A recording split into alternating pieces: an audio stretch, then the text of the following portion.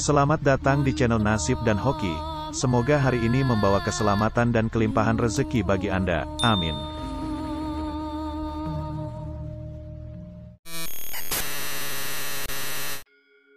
Assalamualaikum, salam sejahtera, Om Swastiastu, Rahayu, Rahayu, Rahayu. Pada kesempatan kali ini, video Nasib dan Hoki akan membahas mengenai keistimewaan orang yang sering tirakat puasa mutih, atau mengenai manfaat puasa mutih menurut kitab Primbon Jawa dan ilmu kejawen. Panjenengan pasti sudah sangat familiar dengan istilah puasa mutih, namun meskipun begitu, pasti juga masih banyak pula yang belum paham mengenai apa itu puasa mutih dan apa saja manfaatnya selain untuk menggayu cita-cita dan keinginan. Pada sejatinya, tirakat puasa mutih adalah suatu lelaku yang diajarkan oleh para leluhur kita, untuk memunculkan atau menghubungkan jiwa kita dengan rasa yang sebenarnya, atau yang biasa disebut dengan rasa sejati. Rasa sejati bisa muncul ketika panjenengan mampu mengendalikan rasa yang lain, di mana salah satunya adalah rasa yang masuk ke dalam indera pengecap kita, yaitu rasa yang diterima oleh lidah panjenengan melalui makanan dan minuman yang dikonsumsi.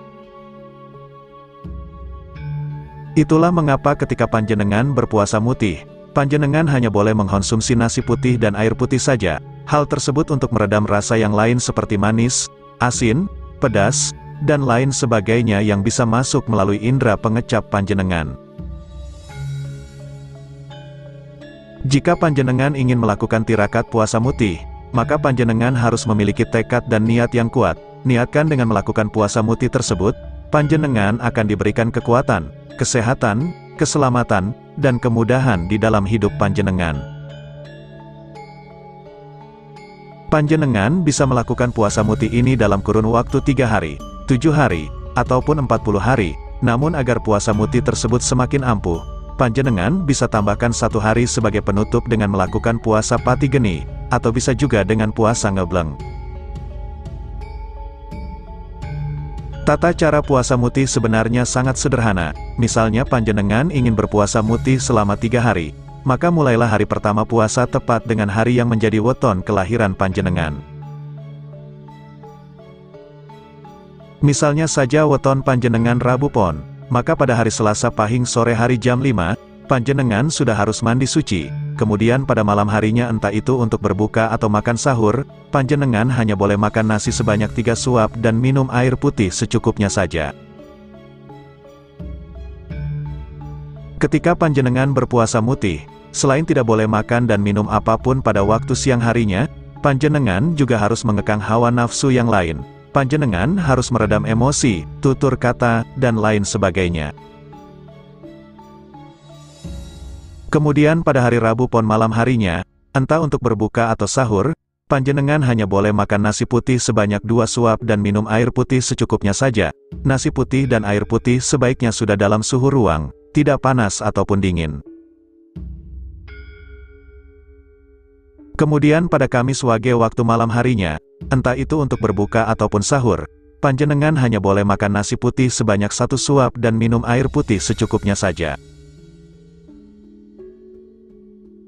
Pada hari Jumat Kliwon sesudah maghrib, panjenengan sebaiknya menjalankan satu lagi puasa tambahan yaitu puasa pati geni atau puasa ngebleng.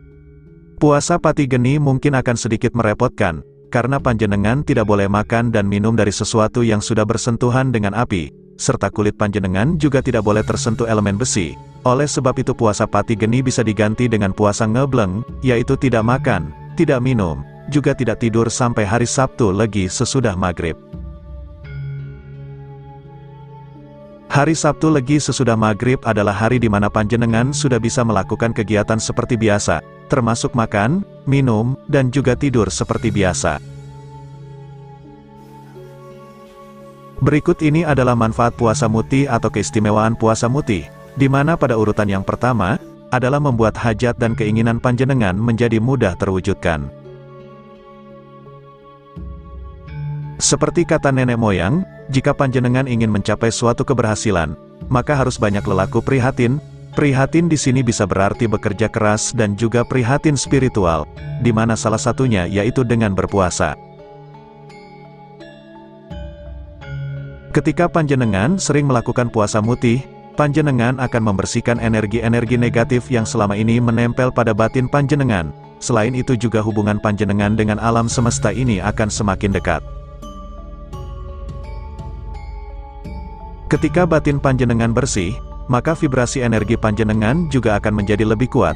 Akibatnya, apa yang panjenengan tebar ke alam semesta akan lebih cepat kembali kepada panjenengan, sehingga ketika panjenengan melepaskan energi positif dengan cara berdoa memohon sesuatu, maka energi tersebut akan cepat kembali lagi kepada panjenengan dengan bentuk terkabulnya doa. Selain hajat panjenengan yang menjadi mudah terkabulkan, kehidupan panjenengan pun juga akan semakin lancar, sehingga jika selama ini rezeki panjenengan terasa seret bahkan macet, maka tirakat puasa mutih akan menjadi salah satu solusi yang tepat. Keistimewaan orang yang sering puasa mutih urutan yang kedua, adalah panjenengan akan memiliki aura yang lebih bersih dan bercahaya. Panjenengan wajib tahu bahwa semua makanan yang panjenengan konsumsi sehari-hari memiliki energi halus yang berbeda-beda. Energi tersebut akan dapat mempengaruhi aura yang dipancarkan oleh tubuh manusia. Seseorang yang memiliki kebiasaan memakan daging, maka jika dilihat dengan indera keenam, auranya akan memiliki banyak energi negatif. Aura negatif ini bisa bertahan hingga waktu yang sangat lama. Selain itu, juga akan membawa pengaruh buruk dalam kehidupan. Namun bagi panjenengan yang sering tirakat mutih, maka aura negatif pada tubuh panjenengan akan luruh kemudian menghilang. Nasi putih dan air putih yang panjenengan konsumsi selama beberapa hari, akan membuat aura panjenengan bersih kembali. Jika tubuh panjenengan memancarkan aura yang bersih, maka hidup panjenengan juga akan jauh dari berbagai kesialan, misalnya kesulitan dalam mencari rezeki, jauh dari jodoh, dan lain sebagainya, Aura yang bersih juga akan membuat seseorang terlihat lebih berharisma dan berwibawa. Keistimewaan orang yang sering tirakat puasa mutih urutan ketiga, adalah panjenengan akan memiliki wadah batin yang kuat dan besar. Jika panjenengan sering melakukan puasa mutih, maka otomatis panjenengan akan mengaktifkan jalur energi dan cakra di dalam tubuh, Akibatnya, panjenengan akan bisa memiliki wadah spiritual yang kuat.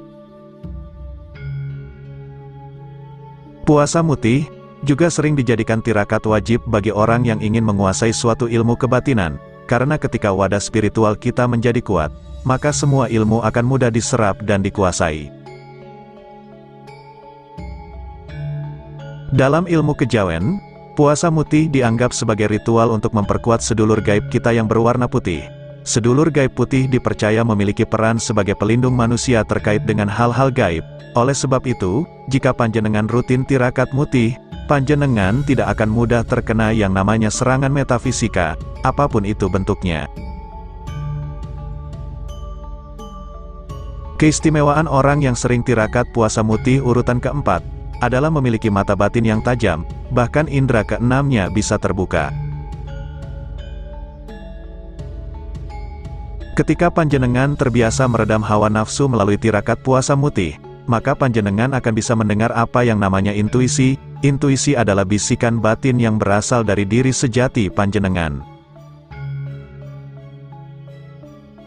Intuisi yang tajam, akan membuat panjenengan menjadi orang yang seolah-olah warusak durunge winarah, yaitu mampu mengetahui suatu kejadian sebelum suatu kejadian tersebut benar-benar terjadi.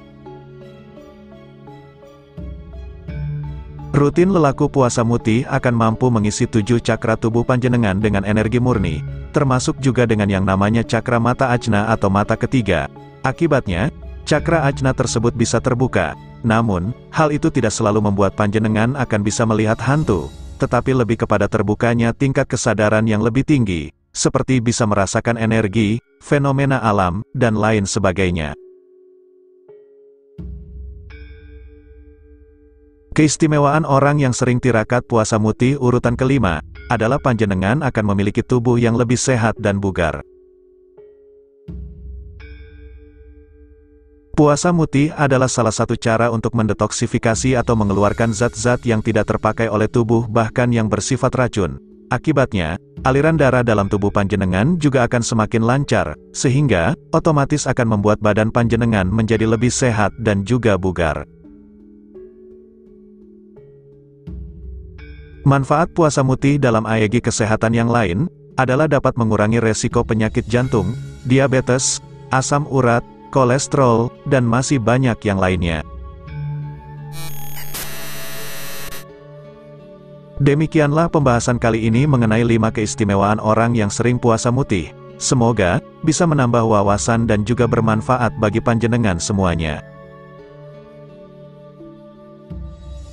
Sebagai penutup, admin doakan agar panjenengan sekeluarga semakin dilancarkan urusannya dan segera dikabulkan hajat dan cita-citanya. Amin.